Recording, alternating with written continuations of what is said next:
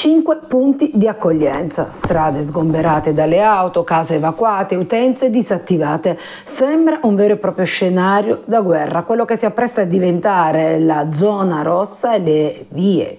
Nelle vicinanze di via Spalato a pochi passi dal quartiere Ferrovie, dal centro della città di Foggia dove ci sarà l'evacuazione dell'ordigno bellico risalente alla seconda guerra mondiale in programma domani 2 giugno. Autobotti dislocate nei punti nevralgici a ridosso della zona rossa e colonne di mezzi della Croce Rossa per uno dei punti di accoglienza predisposti dal comune di Foggia. Saranno chiuse alcune strade e saranno modificate anche alcune tratte ferroviarie. A disposizione del piano massiccio di evacuazione sono scesi in campo anche i medici di Capitanata che in forma volontaria e gratuita saranno a disposizione per eventuali interventi di assistenza nei vari punti di accoglienza predisposti dal Comune. In molti lasceranno le proprie abitazioni oggi per trasferirsi temporaneamente da amici e familiari. Per chi non dovesse avere la possibilità di trasferirsi, il Comune ha predisposto cinque punti di accoglienza allestiti nella villa comunale, nell'università, all'interno di tre palestre nelle zone periferiche della città. I medici di Capitanata hanno immediatamente dato la propria disponibilità rispetto alle operazioni di prima accoglienza dei cittadini residenti nella zona coinvolta. La loro presenza è fondamentale qualora si dovessero verificare episodi di malore dovuti anche alla situazione che crea ansia soprattutto in anziani e disabili costretti ad allontanarsi dalle proprie case.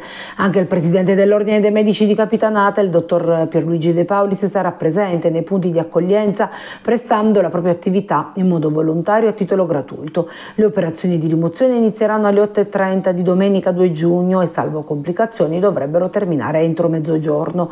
Intanto dal Comune di Foggia arrivano nuove disposizioni relative alle operazioni di bonifica, nello specificano obbligano alla rimozione di tutte le auto nelle strade limitrofe, la zona rossa, ovvero in via Monfalcone, via Onorato, via Spalato, via Zara.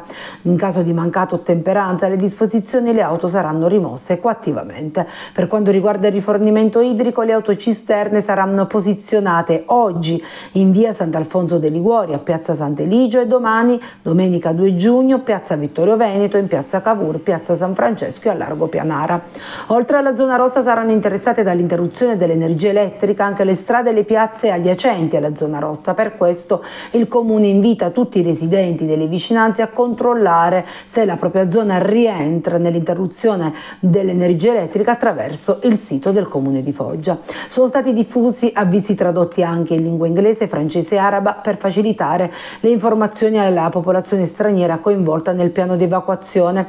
Domani, domenica 2 giugno, dalle 7.40 alle 12.30 cambierà anche la circolazione dei treni tra Foggia e San Severo. Sarà interrotta per consentire le operazioni di bonifica la stazione di Foggia sarà aperta al servizio viaggiatori e saranno garantiti treni per Roma e Potenza, mentre alcuni collegamenti sulla linea adriatica saranno cancellati. Sono previsti dei bus sostitutivi o riprotezioni su altri treni per garantire il viaggio ai clienti già prenotati.